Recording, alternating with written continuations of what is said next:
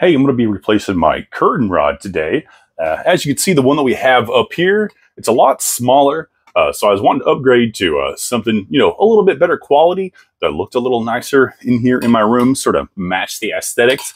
Also, my cats are notorious for climbing up here and kind of knocking this around and stuff. So this one's a lot more heavy duty. So highly recommended if you have, you know, pets or even kids that like to play around in your curtains it's going to hold up a lot better and it looks really nice as well. So what you're going to get, you're going to get you, you know, your pieces here that all connect together.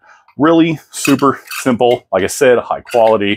You just screw them in like this.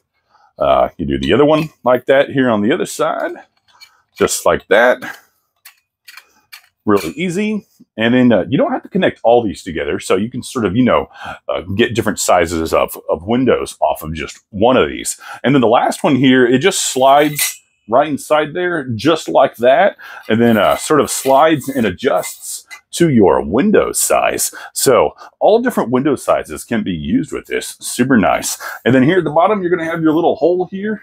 And that's where your ends are going to screw into. So they just screw in really easy, just like this. And then of course you're going to get your mounting hardware right here so that you can mount your rod, of course. And then along with that, you're going to get your drywall and your regular screws to be able to easily screw this into your wall. So without further ado, let's go ahead and throw this up there.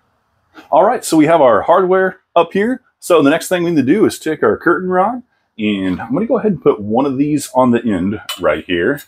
Uh, we'll take this adjustable arm out just to make this easier to put our curtains on. I'll show you how to do this with a lot of ease. So we got one side on there, and then we're going to take our curtains and just go ahead and slide them on here. All right, so I just took my curtains off of my old curtain rod. It's super easy, especially if you've already got them all lined up like this. Just take your curtain rod here and sort of slide it in there. Uh, the reason I said uh, to put this other uh, ball on on the other side, so that way, if you are doing this and they aren't already lined up, you can just slide them on there. And you don't have to worry about them sliding off.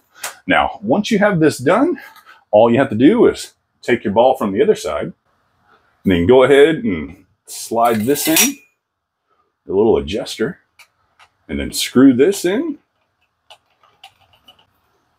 There we go.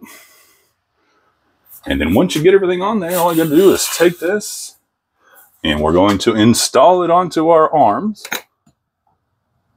Just like that. Uh, always want to give yourself a couple inches over here on each side. Just makes it look a little bit nicer. And that's what's good about this adjustable one here is you can adjust it out as far as you want. So right there, looks about good. And then you just adjust your curtains. So go ahead and take those and take those